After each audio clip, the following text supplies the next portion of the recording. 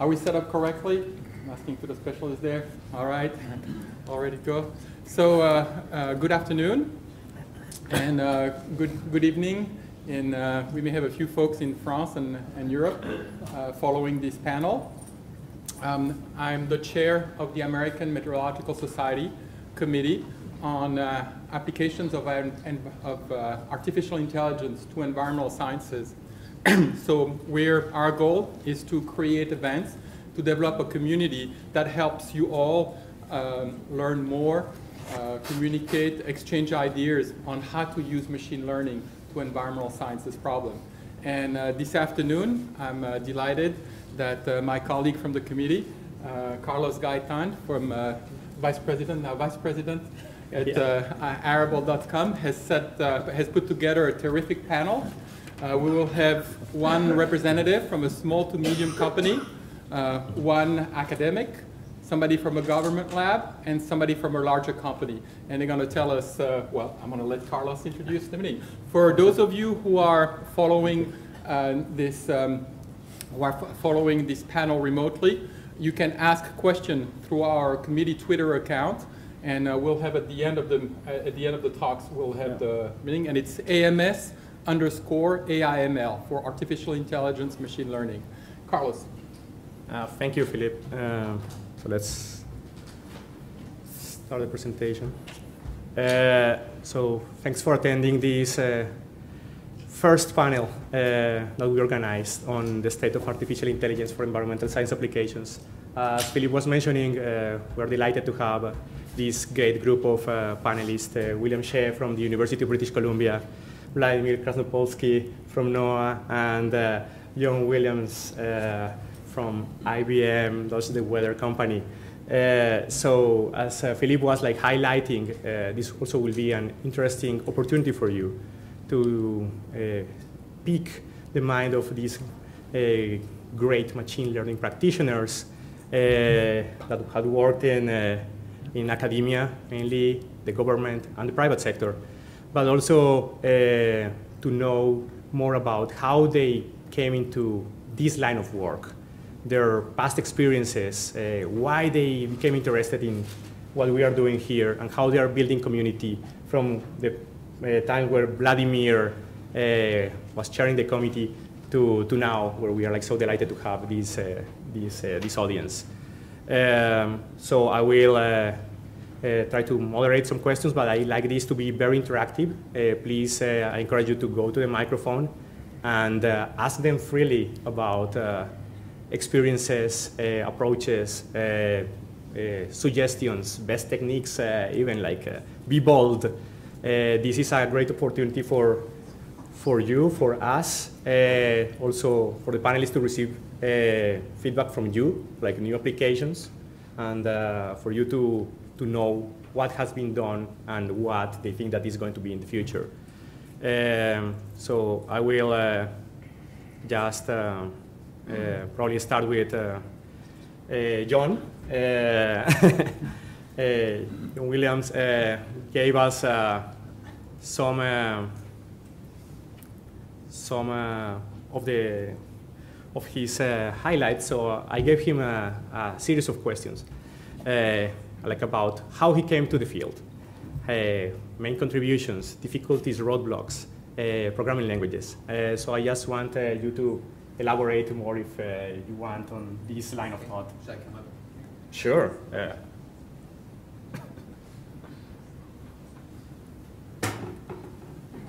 Hi, everyone. It's a, a, real honor to be here today and to share this panel with some real trailblazers in the field. I definitely feel like the the new kid on the block, um, but uh, I, I, hope my perspective will be of interest to you. Um, I first ran into neural networks in, in college and, and wrote a paper on them, and then when I was in grad school, I had the opportunity, even though I was studying mathematics, to take some classes in computer science and, and learned about reinforcement learning and, and ended up working on a dissertation that proved some convergence properties of a class of policy iteration algorithms. So reinforcement learning is about um, discovering through interaction with the environment how to, how to plan, how to, to behave optimally uh, based on the feedback. Uh, and, and so that was a, an, a mathematical exercise, but also a very, uh, an introduction to a very relevant field of sort of optimal through machine learning. Uh, I, I, then went to the National Center for Atmospheric Research, where I was for 18 years, and was introduced to fuzzy logic. Uh, fuzzy logic is an expert system methodology for trying to sort of mimic how human experts solve problems. So it's not a machine learning technique, uh, it's an expert system technique, and it was used very fruitfully at NCAR for re recognizing features in images and doing quality control for data uh, and, and, a whole host of applications. Um, I then moved into to using random forests uh, for a couple of problems in the interface of um, short-term modeling and, uh, and data fusion of observations for uh, particularly um, forecasting convectively induced turbulence. There wasn't really good theory about where turbulence should appear around thunderstorms in, in 3D. So one approach to that was to apply machine learning with aircraft observations we had of turbulence and observations that we had of thunderstorms and then from dynamical models the thunderstorm environment. And uh, as so that, that, was, that was very interesting and, and fruitful work. And then also now casting convection. And, and there, perhaps the physics is better understood, but we have a gap between sort of when a dynamical model can run and actually output its forecast. In, during that gap, a lot of evolution has happened uh, of the storm and the storm environment. And the, the question is how to merge those together to figure out whether there's going to be a, a, a convective storm affecting aviation in the 15, 30 minute out to two hour time frame. And, and then finally, uh, the, near the end of my, my time at NCAR, I used uh, a decision tree model called Cubist uh, for doing uh, electric load forecasting for Xcel Energy. Um, and Sue Haupt in the front row led that project. That was also very, very interesting work. Sort of outside the domain of, of forecasting per se, but now taking the forecasts and applying them to an impact and allowing a company, in this case Xcel Energy, to optimize um, their, their energy uh, purchases and, and deployment of their, their energy assets. I think my contribution through all of this has been uh, less the development of, of new techniques and more the reduction to practice of existing techniques. And some of the things that I focused on, and we were talking earlier today about the black box versus white box problem, but with random forests, using variable importance to try to get an insight into what the model was keying off of, what, what variables were important.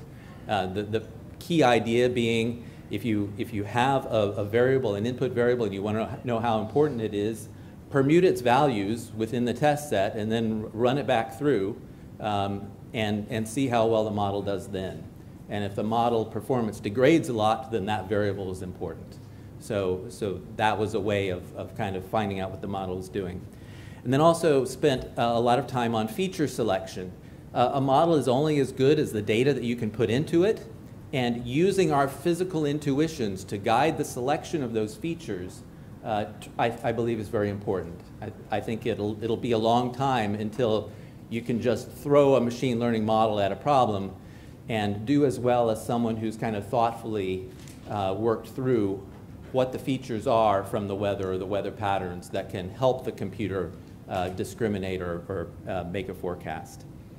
Um, probabilistic uh, calibration is, uh, is something that I did in terms of um, probabilistic forecasts of turbulence and convection, and then also evaluation. And I think everyone knows about uh, cross-validation, but I think one thing we may not appreciate is the importance of choosing training and test sets out of truly independent sets. So you can't choose them out of, out of adjacent incidents or even adjacent hours. Really trying to separate the training testing sets in time so that you were sure that your model was keying on, on the right physical relationships. Some difficulties and roadblocks uh, faced. Computational resources were a problem. Uh, I developed a, I and a, and a team at NCAR developed a NEXRAD turbulence detection algorithm, which uh, since 2008 has been making uh, real-time three-dimensional maps of in-cloud turbulence over the CONUS, running on a server there, that's, that data still is not available to the public in any form. And, and part of the problem has been the computational resources, bandwidth, and, and computation required to run it. Some of that has been interagency coordination, honestly, between the FAA uh, and, and NOAA and, and NCAR as part of that as well. Um, funding, I think, is always a problem for, for doing work on the cutting edge and sort of inconsistent consistencies in those funding streams make it difficult to really gain momentum uh, and, and develop a sequential uh, set of, of solutions to related problems.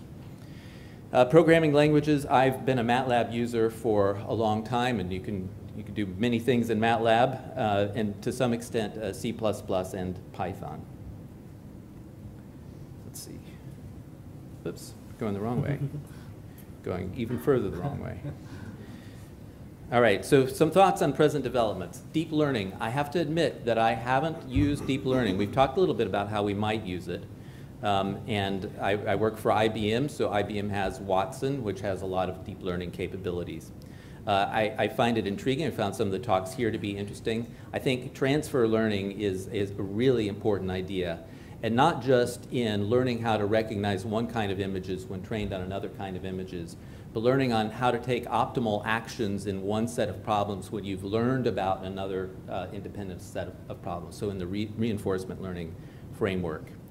Um, and then I already made the point that I, I, think even with deep learning, as magical as it is, it's important to have uh, subject matter expertise uh, in order to use it in a meaningful way or in an optimal way. Uh, Carlos asked, uh, what's the impact of Amazon Web Services, IBM Watson, and Google Cloud? I think one of the things it's done is really democratized AI. Yeah, anyone can go get an account uh, and start playing with some of these tools, fairly easily scale it up. Uh, it's, a, it's basically a matter of can you, putting on my, my private industry hat, can you get enough revenue for this cool thing that you've developed to pay for the resources that you're, you're using and your time and make a profit out of that? There's, but a lot of the barriers to actually getting going, uh, I, I, think, are not as, as high as they once were. I, I mentioned it's also easy to make a mess. I, you know, I think a lot of these tools, you take them out of the box and you start playing with them, and uh, sometimes things don't work well and you don't understand why. Uh, that's, that's part of the problem with having a powerful toolbox is, is you still do need to have the, the physical intuition, the knowledge of how it's working under the, the hood to really be able to use it well.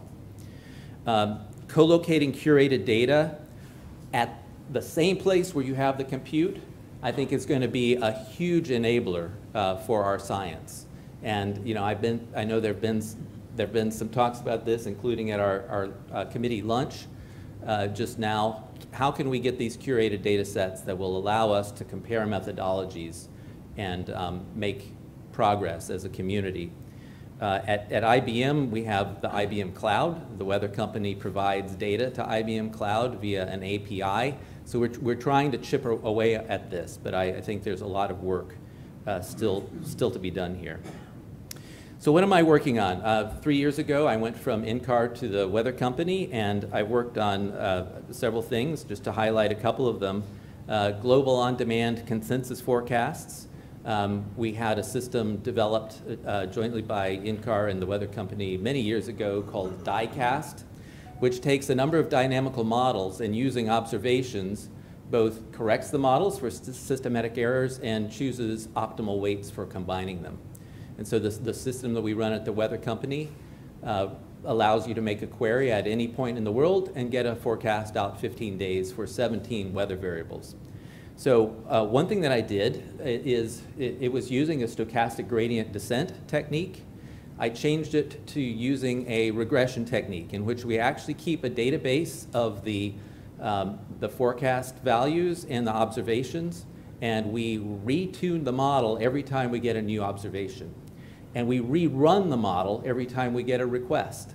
So if you, if you make a request to our system, we'll use the latest observations have gone into tuning, tuning the model that we use. And then we'll make the freshest forecast at that time using all the different uh, um, dynamical model forecasts that are available. Um, one, of this th one of the things this switch did is allowed us not to have to worry so much about bad data getting in. If, you, if you're doing stochastic gradient descent and you get a bad observation that comes in, you, you've messed up your, your weights or biases and you don't have a good way to co- recover because you didn't save that observation. But if you're saving a database and ret- retraining every time you get a new observation, you can quality control your observations, update your observations, and then you have an, a, a, new model immediately. The other thing it allowed us to do is that if we don't have uh, input all, from all the dynamical models, it allows us to optimize for the dynamical models that we do have. So I, I, think this is a theme of how do you handle in the real world, it's a theme that, that comes out again and again. How do you handle missing and bad data? Uh, that, because you have, you have to make a forecast. Um, and, and so you have to figure out a way to do it. So the other thing I've been working on uh, more recently, a, a, year ago we spun out our first set of probabilistic forecasts, and by that I mean you can go to any point in the world and ask for a probability distribution function of, uh, I think we're up to seven different variables. And out, out to 10 days, you can get a PDF at each hour, out to 10 days. Um, you can also aggregate over different periods of time, get maximum minimums or sums of different variables, and get PDFs from, from those. So there have been a number of very interesting problems to work out with that. We think that this capability is critical for um, um, evaluating risks and making optimal decisions in a number of our the industry uh, sectors that we support, as well as in the consumer sector. If you want to figure out uh, whether to plan an outside event, you want to know not just what the mean forecast is, but what the chance is of that extreme uh, event. So uh, let's see, big data and, and ML, data quality, quality control, I think, is a cornerstone of, of real life applications. At the weather company, we use humans to help. We have humans sitting and watching the radar images, and when our automatic quality control doesn't, doesn't uh, catch something, that humans do. So there's a real, real opportunity for, for humans and machines to interact. And then um, another thing is we make 26 billion forecasts a day. We're handling a lot of data throughput, and they're, they're there's auto scaling in our, our systems to, to handle increased demand, a lot of those problems. Um, one of the things I wanted to mention is also the human in the loop. We have a system which makes the forecasts automatically, but humans are watching them, and if they feel that the temperatures needed to be nudged down here or the precipitation needs to be up here, they're meteorologists. There are ways for them to put filters on top of that forecast, but the data keeps flowing through, and that human input is, is added before it goes out the door. So public-private partnerships, I just wanted to say the government, NCEP, um, and, and other governments around the world are absolutely key partners in what we do. We could not do what we do without them. We are advocates for them absolutely. New satellite systems, new observing systems, new models. It's all critical. Um, the private sector, I think, has a role in providing uh, personalization, communication, working with industry uh, verticals, and, and doing decision support products. And I think that's decision support is an area that our uh, community um, probably can start being more and more involved in, especially given the tools and the needs. Uh, academia can partner uh, with industry. Uh, we, we do, the weather company IBM uh, does uh, provide funding to academic institutions and to, to NCAR and others to work on a project and then take, take the results of that work and implement it into our, our products. There's a big software engineering process that usually needs to happen there, and it, it's difficult, and sometimes there's also an intellectual property issue. Um, so, so those can be things that get in the way. Um, role of scientists under increasing automation, I've, I've mentioned that um, humans can have a role in, in quality control of, of both, data and forecasts. Um, and I think they also have important value in, in interpretation until we make Watson a little bit better, people are not going to call up Watson and ask them, you know, whether they should uh, buy or sell their energy futures and things like that. We, we still have uh, human beings helping with those kinds of decisions. So suggestions for new practitioners, and there's a lot I can say here, but um, one, one of the key things that my, my hat at private, private industry has, has sort of changed in my way of thinking is cost benefit is absolutely key if you have a new method that outperforms just a little bit more, but it uses more memory or more compute, I have to, I have to analyze whether the additional benefit that that algorithm is producing is worth the, act, the added complexity, cost of maintenance, and the amount that I'm paying for the, for the machines that I'm using and the compute I'm using. And simple methods often work really well. Um, and so 80-20 rule, right? If you can get 80% of the way to the optimal solution with 20% of the effort in private industry, that's usually or often the way to go. I, I think that this can, can perhaps inform a little bit the way the academic community works too. So the, the best papers, I think, compare new methods not to sort of an existing untuned model uh, or to climatology, but to a real legitimate contender. Uh, if you're comparing against an existing forecasting system, do bias correction on that forecasting system using the same data set. It's only fair, right? And so when I'm looking for the optimal solution, I'm, I'm asking really hard questions about whether the, the added value uh, is made up for, um, the added value is worth the added cost. So let's see, and uh, develop performance metrics related to the end user applications to the extent that you can. Use a lot of, it's good to use a lot of performance metrics. Uh, don't ignore quality control, uh, provide the right data, and uh, subject matter expertise. And I just wanted to, to mention two anecdotes uh, for subject matter expertise. One is when I was working to nowcast convection and using satellite data, I had all the brightness uh, temperatures going in, and I, I, trained my random forest, and it did okay. But when I took the difference of the long wave IR and the vapor channel, the, water vapor channel, it did better. I mean, that, that raised the importance values of both of those parameters. By just understanding physically that, that that difference meant something and it would make the information more accessible to the model, it, it was, it was really useful. So there's a, there's a place for physical understanding in, um, in, in training these models. The other example that I wanted to make in terms of, of cost benefit is in looking at these, um, the, the forecasting models, uh, if you start with the, the best model in the world uh, and bias correct it, we found for temperature that you get about a 15% improvement just from bias correcting it. If you then take that model and you average it, um, just equal weights average with all the other models, you get about another 10% improvement. Now if, if you use uh, inverse variance weights, so where you weight the models inversely to their error variance, you get another 3%. If you use stochastic gradient descent, you get another 3%. If you do all the fancy things that we can think about, you get another 3%. For us, that last 3% is worth it because Bill Myers is in the audience. We, we compete for, for performance, and that's important, those headline values. So it's worth it to us. But boy, we could get a lot of the way toward that ideal forecast with, with really a much simpler approach. So I've, I've talked long enough. Um, thank you. I'll turn it back over to Carlos. Thank you, John. Very refreshing. so uh, now to continue with uh, this uh, line of questioning, I want to ask Vladimir uh, and William uh, your historical perspective, like how you entered the field. what was your first? feel free to use your microphones or come here as it's better suit you. You before me. So. So uh,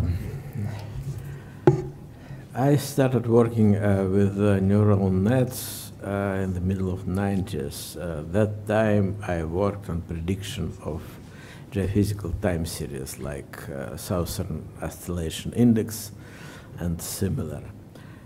And uh, working uh, on this task and uh, learning more and more about neural nets, I recognized very quickly that it's unique tool for approximation multidimensional mapping.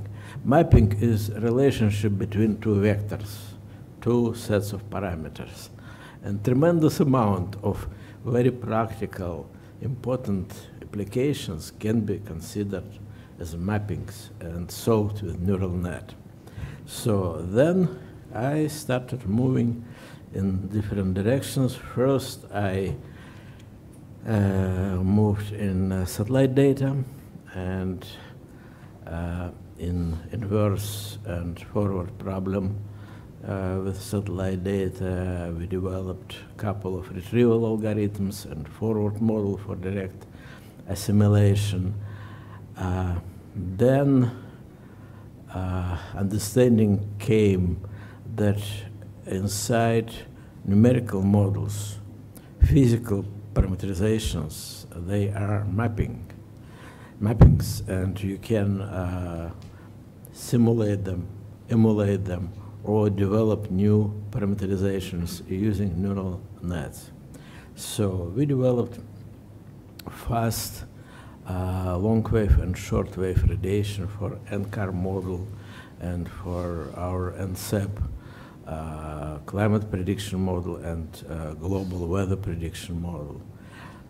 And then different applications started coming from all directions because, as I said, uh, mappings is a very universal mathematical um, object and tremendous amount of applications can be considered. For example, we emulated in collaboration with the University of Maryland, we emulated cloud resolving model inside multi-scale uh, modeling framework uh, with neural net. Uh, currently, I'm working on uh, um, averaging, nonlinear averaging of ensembles using neural net, on uh, gap filling in satellite data, again using neural nets, uh, on uh, developing a biological model for ocean color. So uh, there are so many applications that I, I don't have time to change the tool. I'm still working with a neural net. So, uh, and do you have the slides which? Here, here. Yes, and I, w- I would like to to show you one or two slides. Great timing, Vladimir. Here are your slides. All yours.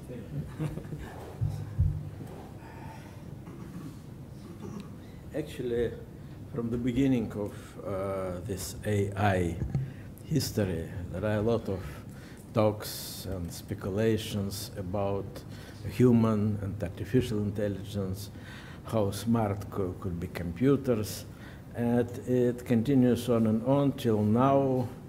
Uh, You know, recently uh, Elon Musk, uh, Bill Gates, and even Stephen Hawkins uh, said something about it. Uh, unfortunately, it's uh, uh, most of this um, talking is uh, are speculations because there are very few, especially in our field, very few cases when really human performance and, for example, neural network performance could be directly compared.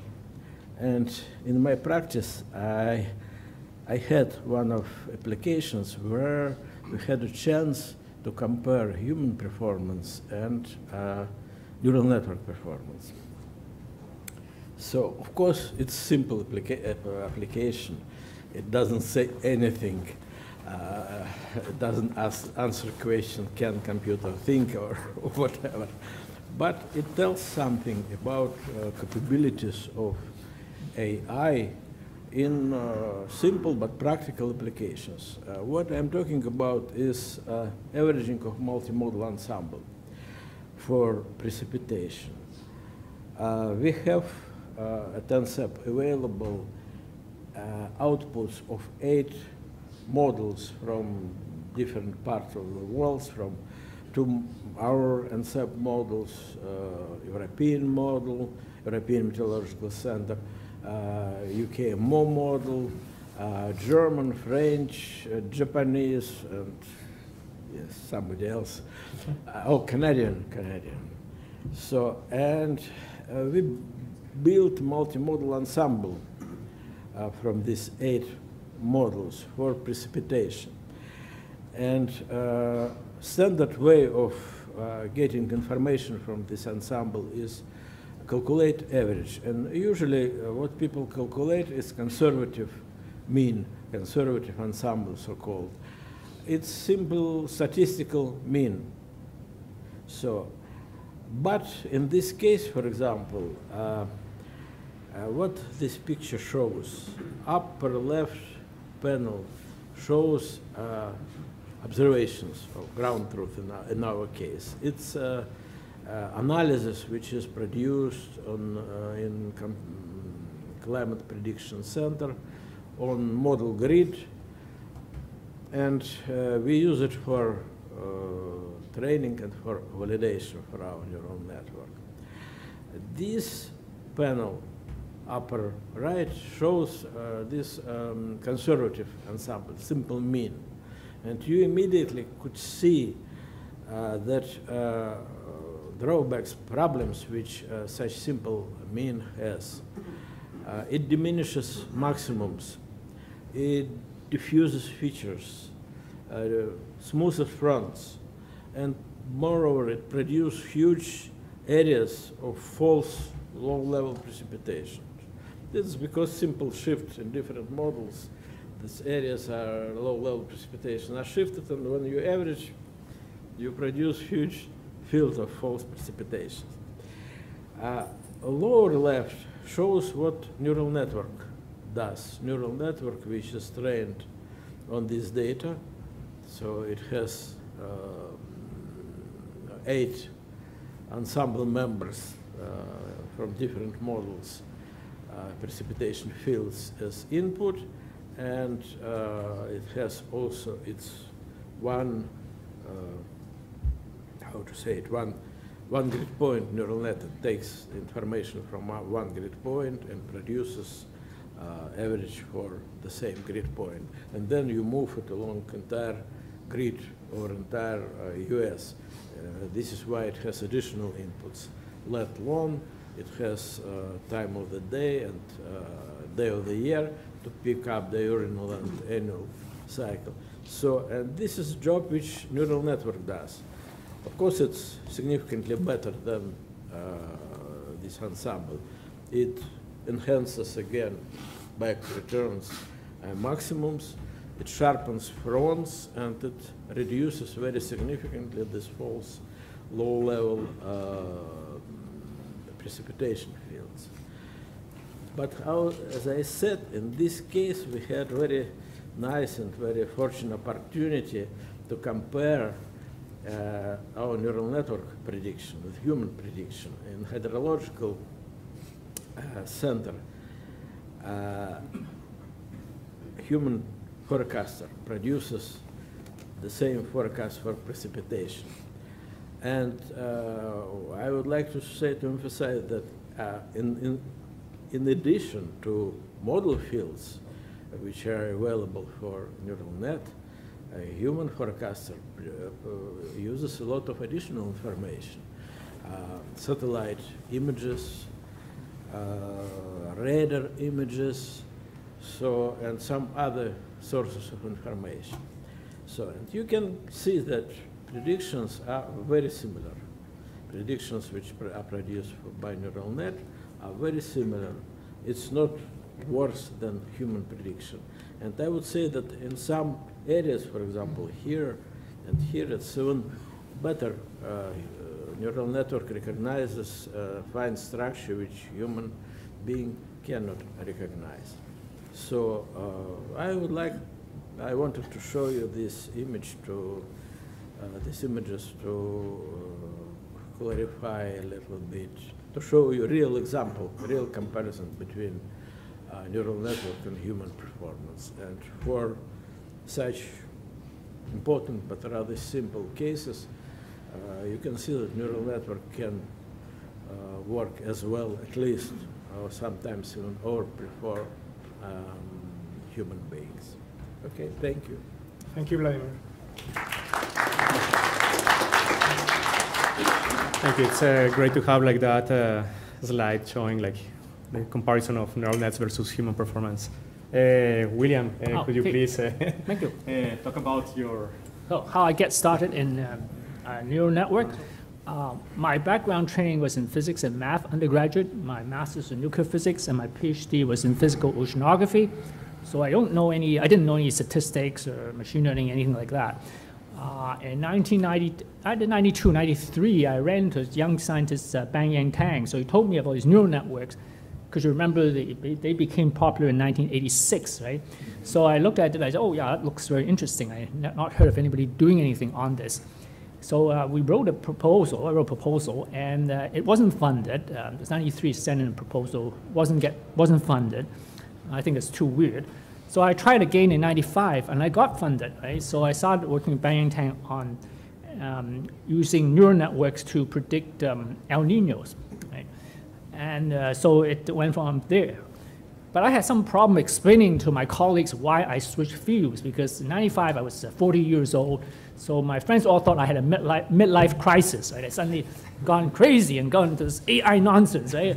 So, I, so I, I ran to them in the conference and they uh, they asked me what I'm doing. I said, well, I'm doing this artificial intelligence stuff. And they said, oh, oh, very interesting, very interesting. Oh, well, nice talking to you. And ran off to talk to somebody else, right? So I was very lonely for a while. And I go to concerts and nobody knew what I was doing. I was lucky to go to AMS and I found know, um, a small group of people, Vladimir, Caren, and Sue, are kind of interested in all this area. And so I think we, we've been pretty consistent because at that time, we were really isolated because we don't come to here and we go to other conferences. People just sort of, ah, these weird people, you know, they don't want to talk with us. Right?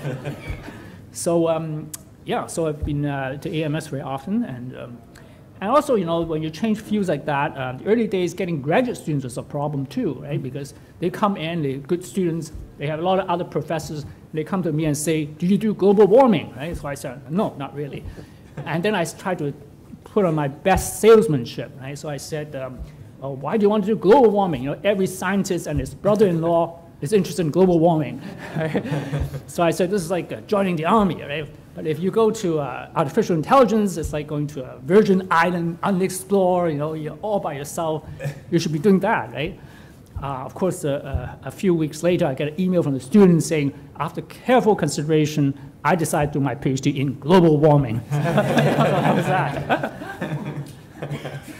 Uh, yeah. You convinced me to do global warming and AI, so. Yeah, but, but by, by, then, by his time, I think that the tide has changed a little bit. You know, AI is starting to get a lot of attraction, um, uh, attention by, by then, so. Yeah, thank you, William. And uh, you want to elaborate, like, for example, your nonlinear principal components? Uh, um, yeah, I could, but, but a lot of data sets are so messy. It's not, not, you know, again, it's one of these methods trying to mm-hmm. extract a uh, clean signal, sort of make it more interpretable. And I find that uh, much of machine learning is not very fruitful to try to extract, you know, clean explanation kind of uh, approach. Um, I mean, you could try it, you know, all, all these, because uh, nonlinear principal component analysis is a little bit on the, the white side instead of black box, you know, a little bit on the, um, yeah, you could try, but not I, am not totally successful because a lot of modes you cannot extract very cleanly, right? I think that's the problem. Yeah, I, I, think the, uh, the thing I like is all these randomized neural network, very interesting, you know, very fast. And, and now, of course, I'm interested in all these extremes. Know, what, what happened to you? What happened when you apply machine learning to extremes? I don't think it's totally straightforward. Thank you, William. So uh, what about, uh, like, if we use all this fantastic information and uh, uh the information that you gave in your keynote uh, presentation earlier and the contributions of, of John and Vladimir. And we open the floor for, uh, for questions and just uh, dedicate the last 20 minutes of this session to pick their minds and answer questions from Twitter. We have some. Uh, yes, please. Uh, I encourage you to use the mic, please. Um, I have a question to Dr. Um, John Williams. Um, so our group is uh, working in um, reinforcement learning um, in some applications, and we just start um, going to climatology. So yesterday I have a presentation about uh, designing optimal um, control using based on reinforcement learning to uh, control the temperatures of a planet. For a simplified model, it's still a pre preliminary work. Um, so uh, my question is based, because you have some experience with uh, working with reinforcement learning in the past. What is the potential uh, of using reinforcement learning in um, um, decision-making process in climatology, and maybe some difficulty with that? You want to use that microphone? Uh. So I did see your talk, and I, I think it was a, a very interesting talk. Um, I'm not sure if I can answer exactly the question you're, you're asking because I'm not really uh, so conversant with, um, you know, the, the particular application that, that you used. Um, Reinforcement learning does give us a way to optimize actions given an uncertain um, or, or stochastic representation of how things can evolve. And so th- there certainly is, I think, relevance to that to a lot of decisions that society is making. If we have different ways the climate can evolve and we understand how the decisions that we're making um, impact that, we can, we can look at the cost. We can look at the cost of having the environment lot, not how we want it to be, and how much it would cost to make the environment, uh, to, to uh, do things to mitigate carbon dioxide or recapture or whatever. Uh, And, and I thought that was a very imp- interesting implication, uh, uh, illustration of the use of reinforcement learning. I'm not sure I can give you more specific advice. Maybe some others in the audience, I know Amy McGovern has some experience with reinforcement learning, so maybe there are, there are others who would have some, some thoughts for you. Amy, you want to give your five cents? or I get five cents? I, I think I'm having trouble with the application of reinforcement learning too, because I saw your talk, but it's interesting theoretically, but how do we actually use it to control? Because that's what reinforcement, I mean, all my, I do have experience in reinforcement learning, it's what my PhD's in, but it's on doing robots, where the robots actually can control things, and we don't mm-hmm. really have good control over the the things that we're controlling with the, with their simulating with the reinforcement learning, so I'm still thinking hard about the applications there. Thank you, Amy. Other thoughts in the room? or questions? Another question there? All right, thank you all. Uh, my is mainly for, for John, and but the other panelists can obviously comment uh, if you have something to say. So my question is about the, the transferring uh, machine learning models developed into, in the lab into operations. So what ma- makes machine learning really great is you can build really powerful models relatively quickly uh, in a laboratory environment. But when you transfer them into operations, you, you end up running into problems. Uh, you, you mentioned bad data and missing data, but also I would say changing data. Sensors get better, models get better. So at the weather company or in other applications you've worked in, uh, how do you account for something like that? So as I mentioned, one of the ways that we work at that is we constantly retrain our models. Every time a new observation arrives, we retrain the models. Now, that's not going to be possible with a, a deep learning uh, model, uh, obviously. So, um, uh, uh, but, it, but it's an issue. So can you take a deep learning model and then, and then train a delta on top of that um, dynamically to, to keep up with some of the short-term changes? You know, so can, can you integrate it in? So it's, it's a preprocessor of the information, but then you also have a linear regression, you know, uh, that, that's, uh, that's tracking any, any changes or increasing bias in your model. That- that's just off the my, top of my head. My guess is that you've thought more about this problem uh, and that, that you might have some ideas too. How, how are you dealing with this? So yeah, so the solutions that we use are, aren't that much more sophisticated than what you just said. Taking the model we've trained off the data we have, maybe updating our data set. If it's a type of model you can retrain pretty frequently, you know, maybe it takes over, in May. so maybe you can train it, you know, once a day, once a week sort of thing, and, you know, but you're just updating your data set. But that, that takes a lot of maintenance because you've got to make sure that you're collecting, the, collecting all the data that you're processing, and sometimes storage is an issue and other things like that.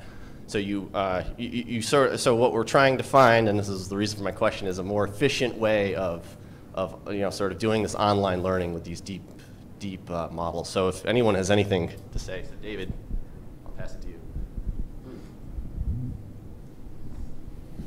Uh, one idea that comes to mind from seeing a lot of the work in, with transfer learning, where basically people take the, like in uh, Amy's talk earlier this morning with the the uh, predict uh, identifying bird, birds and radar.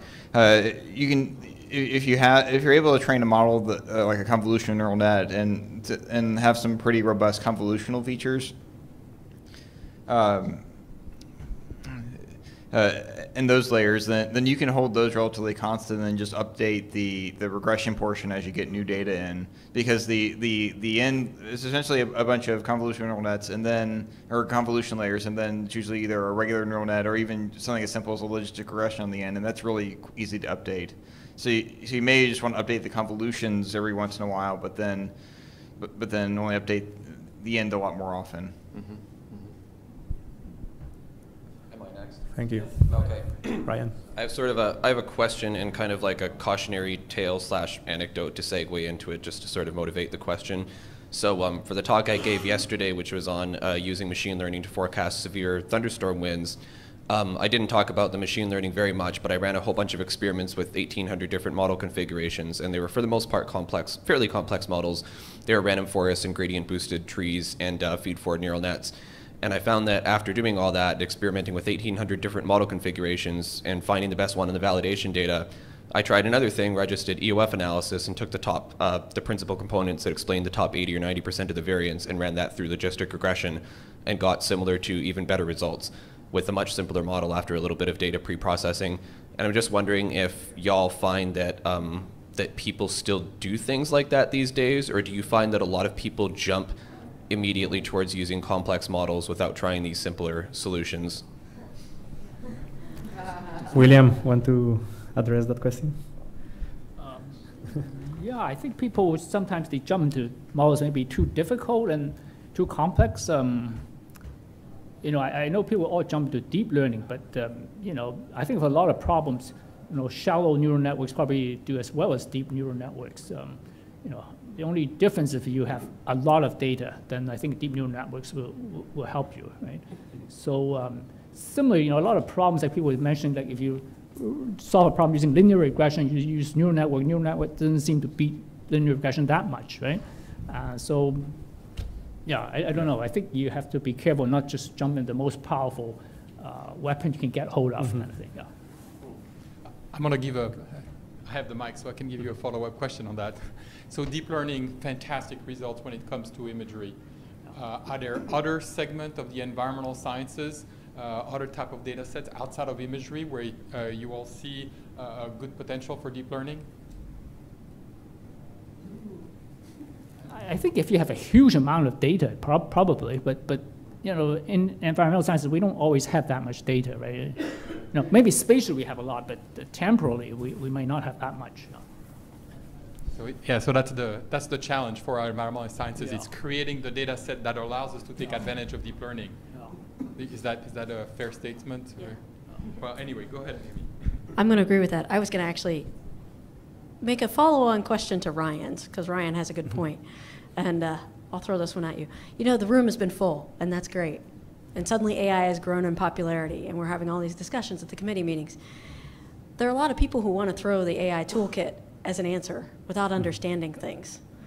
So how do you think that we encourage the more physical understanding? Um, in particular, I once had a paper re relatively recently rejected because I didn't cite somebody else whose paper had no physical understanding and it was a really bad paper and and it was just well these other people have done this and so therefore they've covered it they were predicting temperature and and we were doing something on tornadoes they're completely separate but they don't understand that they're different and i don't know how we convince people outside the meteorology community to I, I don't Yeah. just want tools. That's, I guess th- that's the question. Thoughts on how we make this work as we grow. Growing pains. None of you wants to answer that, huh? John?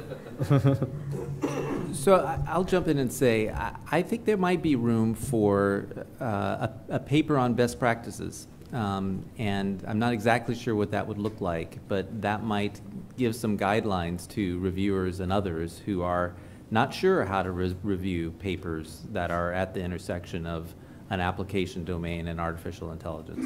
And I guess another thing to say is, ob- obviously, when you're when you're going into an AI journal, that's a much harder. Was this an AI journal or a? a yeah. So that's But somebody's already done it, so therefore it's not interesting. They did temperatures, so tornadoes aren't interesting. right. So so I think I think one of the one of the and Amy, this won't be a surprise to you, but one of the structural problems with uh, machine learning AI uh, as as a discipline is that it's highly focused on new techniques and not reduction to, to practice of, you know, of those techniques.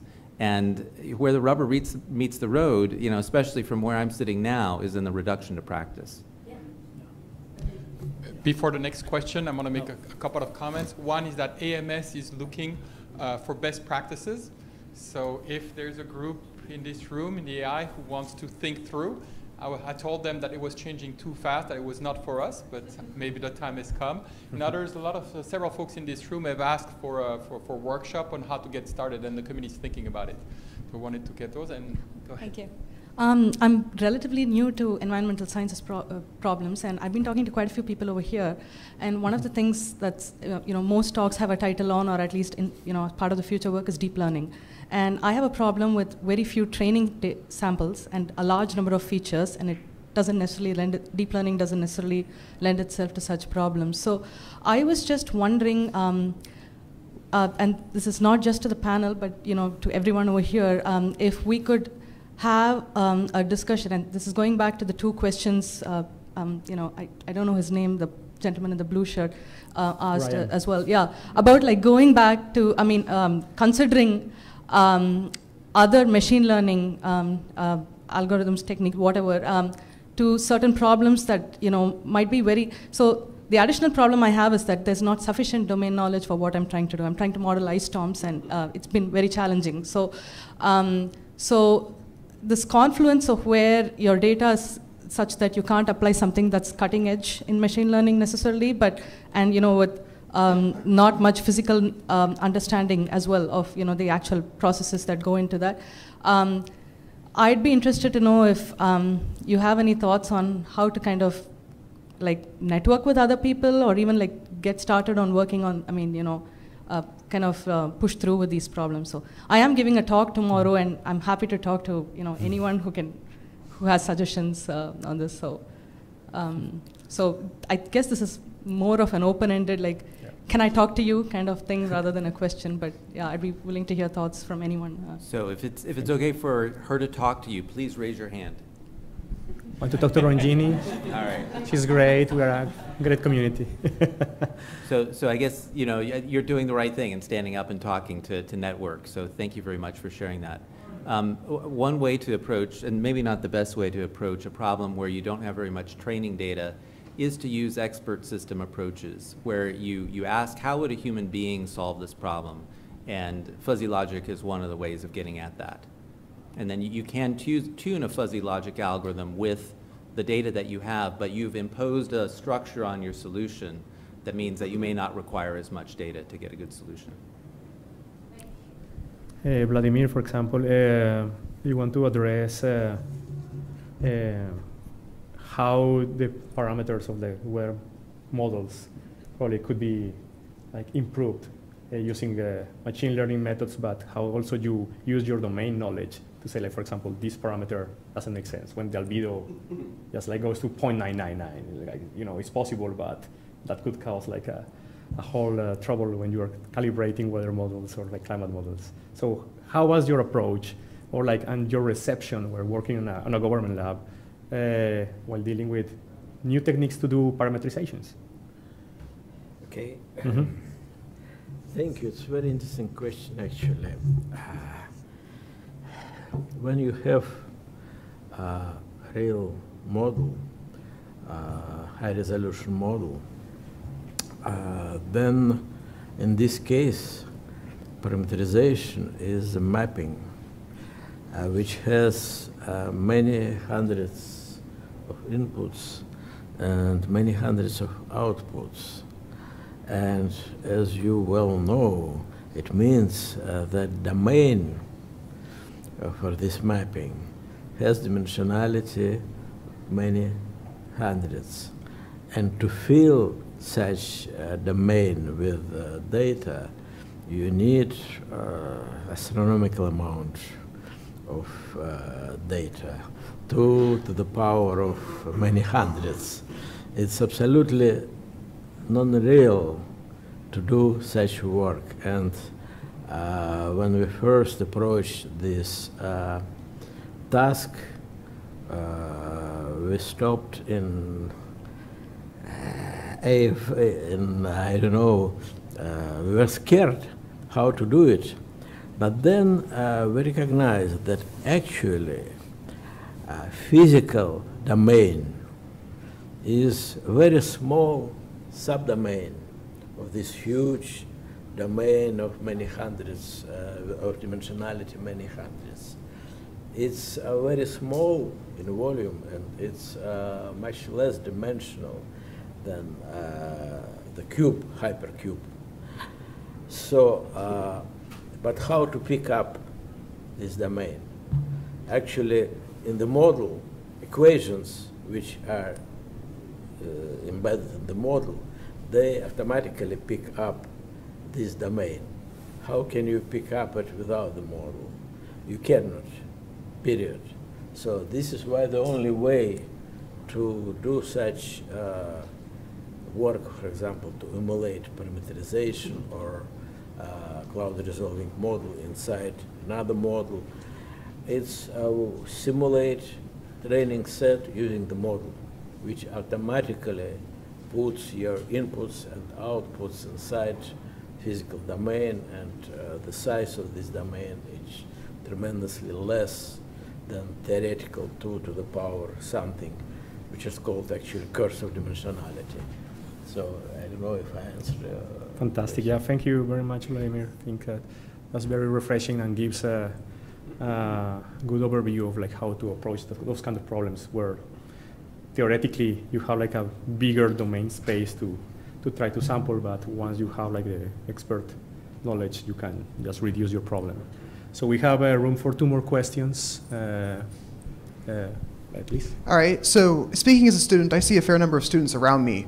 Um, and all three of you express different but very strong mathematical backgrounds. So I have a twofold question. One, what mathematical fields and what, what parts of math are very, very important to understand to get the basis, the basics of all of this? And the second is, if we want to make expert contributions to things, where do we need to head? Right? What, what fields do we need? Do we need analysis? Do we need linear algebra, topology, things of that nature? Thank you. My advisor once told me you can never know too much linear algebra. So.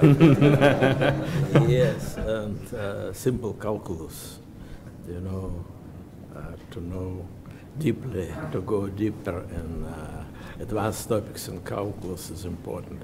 Of course, functional analysis would be very helpful to learn. Yeah, I, I think matrices and you know is very important because I have students who have trouble. You know, you have a matrix equation and they can't really get the feel what it is, or you know, you have to be able to see a matrix as itself rather than have to look at individual elements. Kind of. So, so yeah, a good course in yeah. matrix algebra, algebra is, is very important. Yeah. Thank you. Uh, Dimension reduction. yeah. Hi. So it's come up a couple of times in discussion that there's been a lot of uh, movement recently in the community about applying existing techniques from machine learning to atmospheric science. And you've also mentioned that these have some limitations in this domain, such as the extremes that you talked about. So something that's not, it just doesn't quite capture well at the moment. So my question is, I was wondering, are there any other sort of theoretical limitations or theoretical problems that haven't been resolved yet in your mind in atmospheric science for applying machine learning techniques?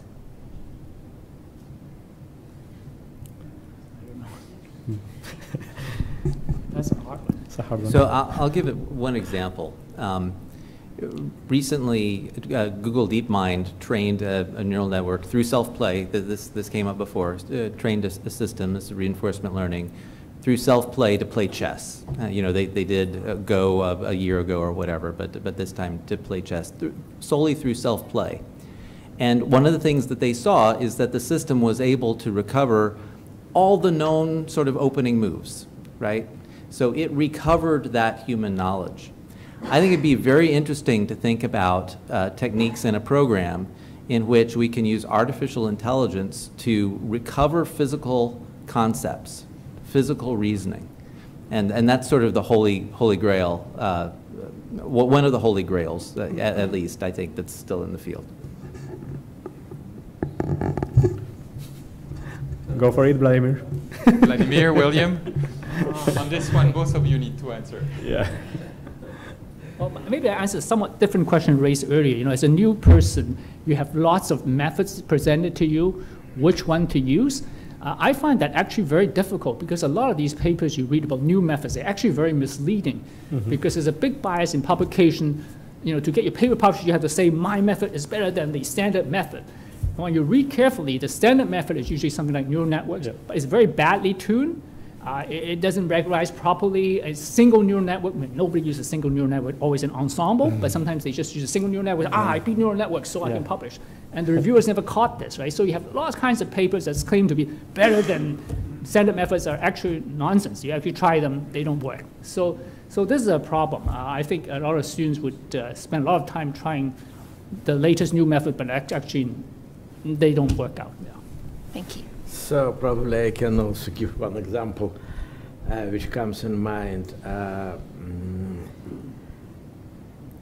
uh, there are a lot of work and uh, labor invested in development numerical models with uh, resolution easily adjusted. So, and uh, there is uh, one problem here because different resolution involves different physical processes. So you need different physics for different resolution, different parameterizations. And I think uh, neural net or another or other tools, AI tools, could be very helpful here to develop smart adjustable physics which would automatically adjust to uh, resolution, to, to turn on, include proper processes corresponding to resolution which you use in more. Thank you. Philippe, any concluding remarks? Uh, Uh, we're close. I'm, I'm gonna I'm gonna ask you a couple of questions to the to the crowd there, and then um, also the our next uh, items for the AI conference is a preview of our posters, and then we'll have the posters downstairs. We have only one day with posters, and they're all today and uh, downstairs in exhibit hall three. The couple of questions is uh, one is uh, would you like another panel next year?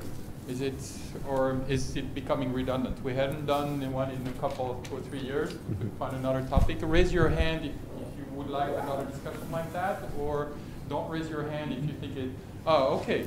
Thank you. So, all right. so we, we will, well, okay. So we will organize another panel. If you have ideas on topics, um, we, uh, for example, if a simple model versus a complicated model, one of our esteemed member, Caren Marzban, will probably be glad to contribute to that. um, the other one is, how many of you are within driving distance of Austin?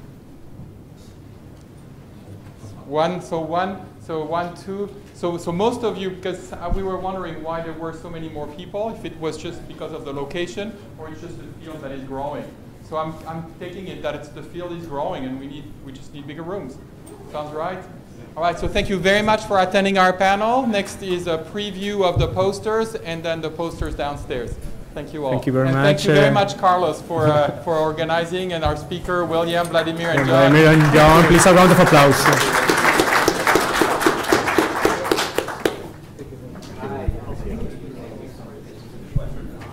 So it's a break now? Back? Uh, now it's poster session, I think, at, uh, in the afternoon.